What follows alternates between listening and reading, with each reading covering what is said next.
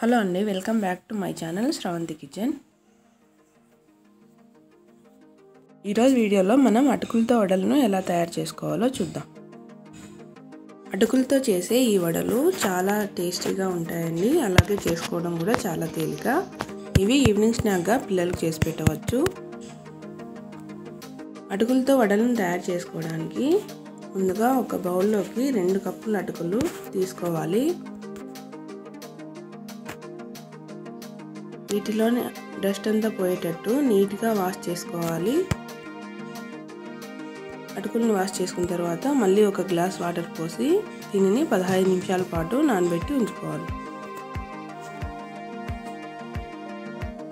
అటుకులు పదహైదు నిమిషాలు నానిన తర్వాత ఇలా మెత్తగా ఉంటాయండి. ఇప్పుడు వీటిలోని వాటర్ని అంతా మొత్తం పిండేసి అటుకులను వేరొక బౌల్లోకి తీసుకోవాలి.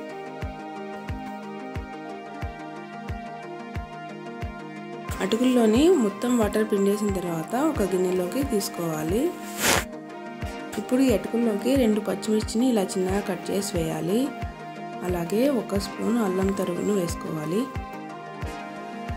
అలాగే ఒక మీడియం సైజు ఆనియన్ను ఇలా చిన్నగా కట్ చేసుకొని వేయాలి.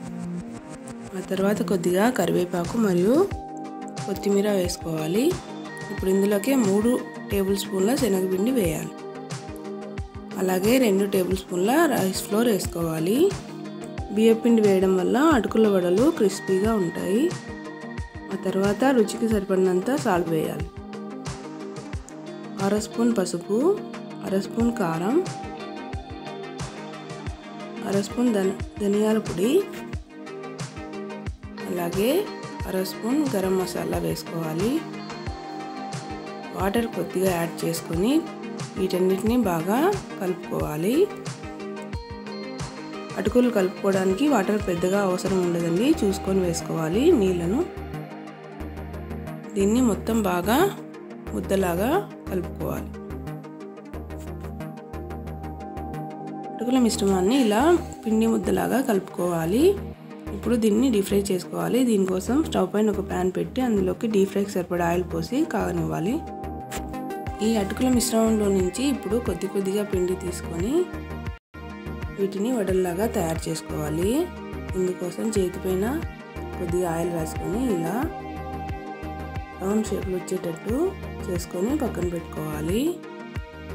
ఇవి మరీ మందంగా కాకుండా పలుచుగా కాకుండా చేసుకోవాలి.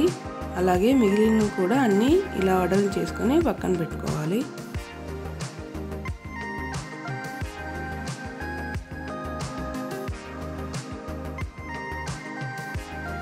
అన్ని వడలను ఇలా తయారు చేసి పెట్టుకున్న తర్వాత వీటిని డీప్ ఫ్రై చేసుకోవాలి.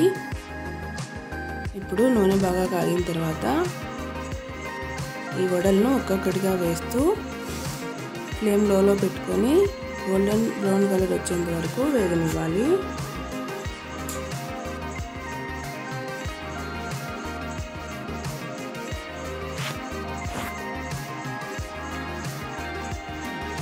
ఇలా వడలన్నీ గోల్డెన్ బ్రౌన్ కలర్ వచ్చిన తర్వాత వీటిని వేరొక బౌల్లోకి ట్రాన్స్ఫర్ చేసుకోవాలి. అలాగే మిగిలిన వడలన్నిటినీ కూడా ఇలా గోల్డెన్ బ్రౌన్ కలర్ వచ్చేంత వరకు వేయించుకోవాలి. అంతేనండి ఎంతో టేస్టీ అయిన అటుకుల వడలు రెడీ. మీకు ఈ వీడియో నచ్చితే తప్పకుండా సబ్స్క్రైబ్ చేసుకోండి. నా ఛానల్ శ్రాంతి కిచెన్. వీడియోని లైక్ చేయండి షేర్ చేయండి సబ్స్క్రైబ్ చేసుకోండి. నా ఛానల్ శ్రాంతి కిచెన్.